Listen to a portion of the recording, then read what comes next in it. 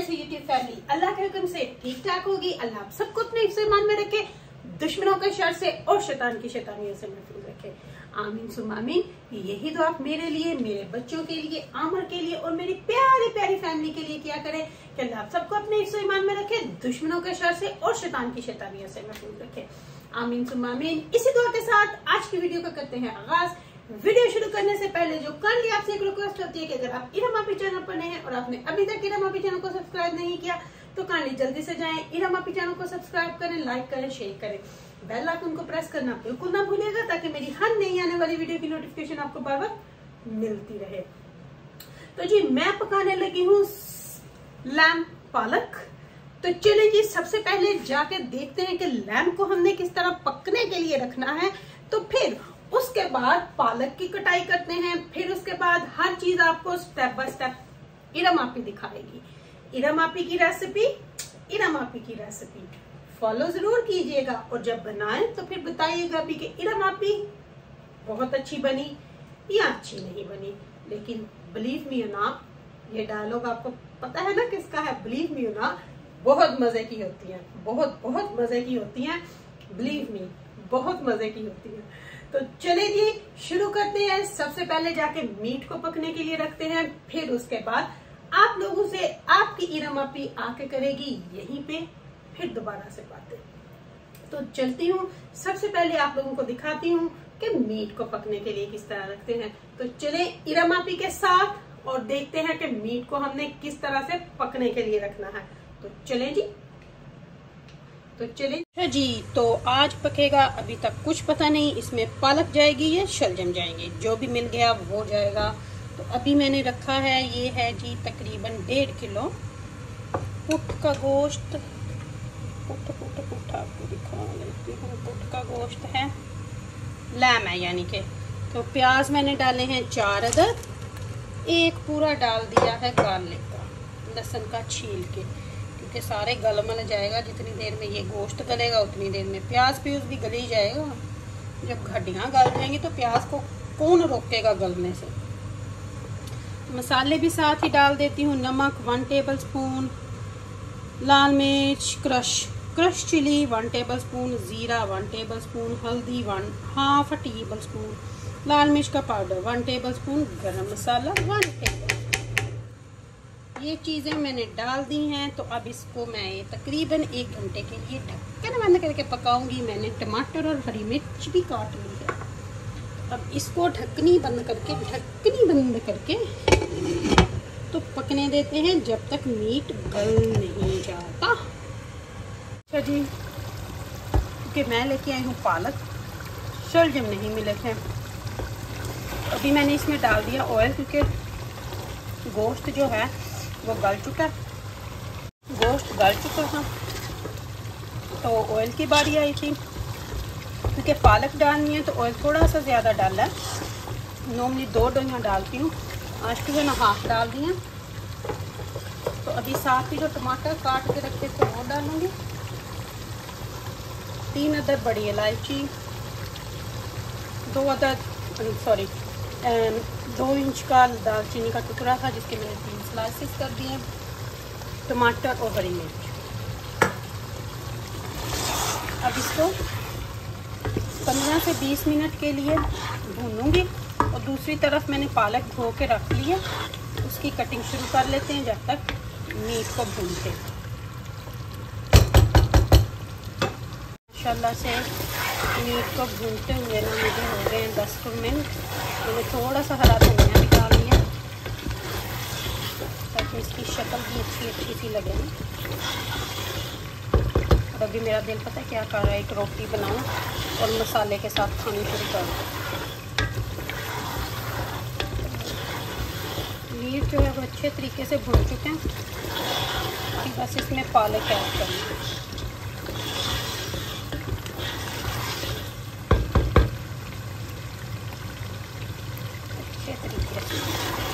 ऊपर आ गया। अच्छे तरीके से ना, बहुत अच्छे तरीके से मीट जो है भून चुका। है जी तो मीट जो है, वो अच्छे तरीके से उसकी भुनाई हो रही है। साइड पे तकरीबन भून ही चुका है, मैंने अभी आपको दिखाया। लेकिन अभी भी मैंने उसकी आँच हल्की कर दी है, बंद बिल्कुल नहीं की, ताकि वो हल्की आँच पे पकता रहे, जितनी देर में हमने पालक काटनी है। पालक आपको नज़र आ रही है, मैंने धो के बड़ी छानी में रख दी है। ट्रे रख लिया चॉपिंग बोर्ड रख लिया छुरी ले आई हूँ। कपड़े सुबह बाहर डाले थे तो बारिश आ गई तो स्टैंड पे डाल के अंदर ले आई हूँ। कुछ कपड़े मैंने अपने साइड पे रखे थे कि उनको हाथ से धो बाहर डाल दूँ, लेकिन इतनी तेज बार बारिश हो रही है, इतनी तेज बार बारिश हो रही है कि मैं आपको बता भी नहीं सकती। हो सकता है इसकी हाफ़ वीडियो में आपको मेरा कुछ लुक चेंज लगे, क्योंकि मैं जा रही हूँ हेयर ट्रीटमेंट के लिए। तो हेयर ट्रीटमेंट के लिए मुझे जाना है। थोड़े हेयर ट्रिम भी होंगे थोड़े से वो हेयर को ट्रिम भी करेगी और कुछ जो भी करना होगा, वो कर लेगी। तो वैसे भी मेरे शॉर्ट ही है ना मेरे को इतने लंबे मैंने कभी रखे ही नहीं है, शुरू से ही नहीं रखे। पहले तो मेरे बहुत छोटे होते थे बॉब तो अभी थोड़े बड़े कर लिए हैं। थोड़ा वेट गेन किया, थोड़ा नहीं, काफ़ी ज़्यादा ही गेन किया। तो बालों को भी थोड़ा किया, लेकिन अभी फिर से के नीचे से काफ़ी डेड हुए हुए हैं। तो उसके लिए जाऊँगी। तो मैंने सोचा कि पहले हांडी वगैरह सब कुछ बना हुआ होगा ना घर में तो फिर मेरे लिए जो है वो हो सकता है आपको वो वाली वीडियो इस वीडियो से पहले ही नज़र आ जाए। मुझे लगता है कुछ ऐसे कि वो वीडियो जो होगी ना अगर मैंने वहाँ जाके बनाई वो आपने पहले ही देख ली होगी। चलिए जी। एनीवे anyway, तो पालक को मैंने सोचा काट लेती हूँ फटाफट से। काट के रख जाऊँगी, गोश्त को भून के तो फिर इंशाल्लाह इंशाल्लाह आके तो पालक डाल दूँगी। और साथ में बन जाएगी रोटी। ये मैंने सोचा कि आज जो है ना, काफ़ी देर से पालक नहीं बनाई, पालक गोश्त। तो आज जो है ना, पालक गोश्त बनाया है। तो ये मैंने ली है जी बेबी स्पिनिच मैं लेके आई हूँ टेस्टो से तो ये किलो किलो के दो बैग थे। तो दोनों को ही मैंने धो के अच्छे तरीके से, इनको इतना धोने की भी वो कहते हैं ज़रूरत नहीं होती, लेकिन हम फिर भी एक दो पानी धो लेते हैं। जो दूसरी लूज पालक होती है ना मिच्योर पालक, वो मुझे ज़रा भी अच्छी नहीं लगती। उसमें रेत बहुत ज़्यादा होती है, उसको धोना बहुत हार्ड होता है।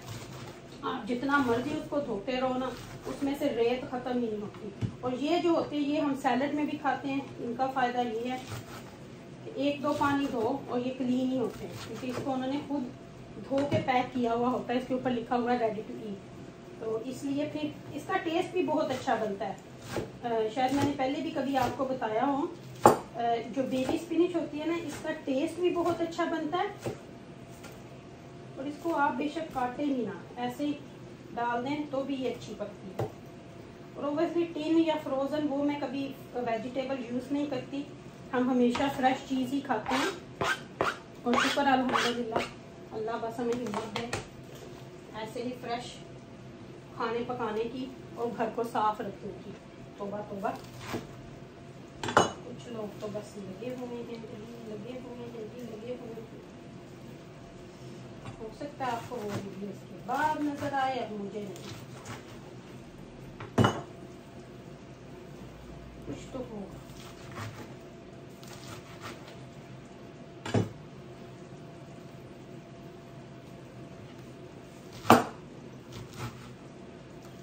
अच्छा जी तो पालक मेरी गई है, कट तो अभी शेल्फ को कर देते हैं, साफ़, क्योंकि हम लोग करते हैं जी क्लीन एस गो हम नहीं कहते कि घर में उलियाँ लगी, हम नहीं कहते कि सिंक पानी से भरा रहे, आज तक फिर उल्ला मेरा सिंक तो कभी पानी से भर जाए, हमारी तो जान पे बन जाए।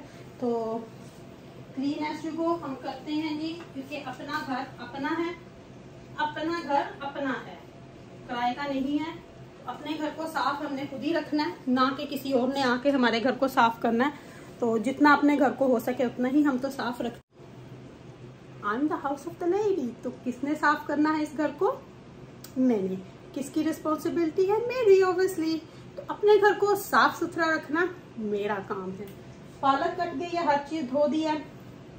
अब चलते हैं उस तरफ़। जाकर देखते हैं मीट को कि मीट की क्या सिचुएशन है। भून तो चुका ही है, लेकिन सिर्फ़ पालक ही डालनी है।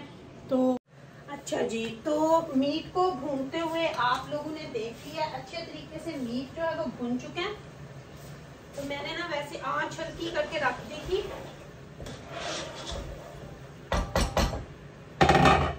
अच्छे तरीके से मीट जो है ना वो भून जाए। तो मीट अच्छे तरीके से भून चुके हैं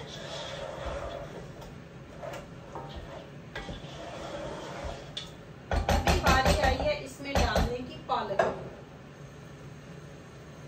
तो पालक को हमने अच्छे तरीके से आपके सामने ही कट के, धो के रखा हुआ है।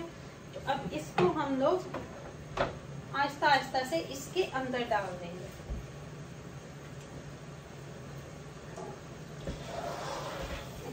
थोड़ा सा इसको और कर लूँ ऐसे, ताकि अच्छे से ये एक दफ़ा ना हो जाए। मीट तो ऐसे गला हुआ है ना। मुँह में मेल्ट ही होगा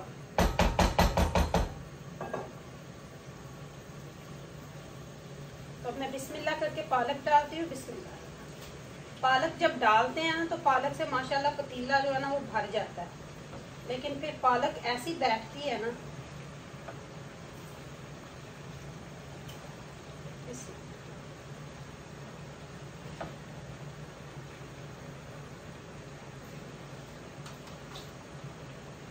थोड़ी सी इसमें से रख भी लूँगी शायद, इतनी पकोड़ों के लिए। इसको छाननी में डालूँगी ताकि ये अच्छे से ना निचड़ जाए तो फिर इसको फ्रीज कर दूँगी थोड़ी सी। अब इसको ना मैं एक दफ़ा मिक्स करूँगी, फिर इसके ऊपर ढक्कन दूँगी। क्योंकि पालक का अपना ही पानी बहुत निकल आना है, क्योंकि अभी फ्रेश काट के तो फ्रेश धोई है। इसलिए पालक में पानी मैंने बिल्कुल भी नहीं डालना। थोड़ी सी जब ये सो जाएगी, बैठ जाएगी ना तो थोड़ा सा बस दूध डालना है हमने। पालक को जब आप करते हो तो थोड़ा सा दूध डाल के फिर उसको करते हैं फिर उससे पालक जो होती है ना उसका टेस्ट बड़ा अच्छा आता है। आटा मैंने गूंद लिया तो बस के साथ में ये हो जाए और 10-15 मिनट में तो फिर रोटी गर्मा गर्म बनाएँगे। मेरी फैमिली जो है उसके साथ बैठ के तो डिनर करेंगे? तो आँच जो है वो अभी तो तेज है लेकिन मैं मीडियम कर दूँगी। ताकि ये अच्छे तरीके से पक जाए, गल जाए पालक। और फिर उसके बाद आप लोगों के साथ शेयर करूँगी। तो मैं इस पालक को छाननी में डाल आती हूँ ताकि वहाँ पर ये साइड पे थोड़ा इसका पानी जो है वो निचड़ जाएगा। तो फिर उसको बैग में डाल के मैं फ्रीजर में रख दूँगी। तो इसको बस जो है ना, जो हमने डाली थी, वो सो चुकी है। यानी कि पालक जो है वो अपने ही पानी से नीचे की तरफ़ जा चुकी है। यानी कि पालक को आ गई है नींद। आज हमारी पालक को नींद पता है किस तरह आई है? वकार भाई की तरह। जैसे वकार भाई सोते हैं ना, वैसे ही पालक को भी नींद आई है। तो पालक को सोने से जगाने के लिए हमें क्या करना पड़ेगा? हमें पालक के अंदर दूध डालना पड़ेगा। तो मैं यहाँ पे दूध डालूँगी। अभी यही प्याली मेरे पास पड़ी है तो यही एक डाल देती हूँ। आँच हमेशा तेज रखें। भी दूध डालें। क्योंकि पालक में दूध डालते हुए आँच हमेशा तेज होनी चाहिए। बिल्कुल तेज होनी चाहिए। तो आँच हमने कर ली है तेज। एक प्याली दूध जो है वो डाल दिया है। अब पालक को हम अच्छे तरीके से गलने देंगे। जो अपने ही पानी में कुछ थोड़ा सा दूध हमने डाला है, उसके अंदर ये अच्छे तरीके से गल जाए। आँच अभी मैंने तेज किया है, लेकिन दो तीन मिनट के बाद आँच को मैं कर दूँगी हल्का। बहुत खुशी होती है जब लोग आके आपको कहते हैं। ये बात मैं आपसे ना अभी दो मिनट में करूँगी। तो आती हूँ अभी दो मिनट में।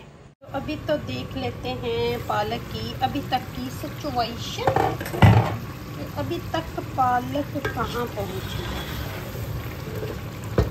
है थोड़ा सा टाइम है। फ्राई हो जाएगी। तो फिर इंशाल्लाह से आपको इसकी फाइनल लुक भी दिखाऊँगी।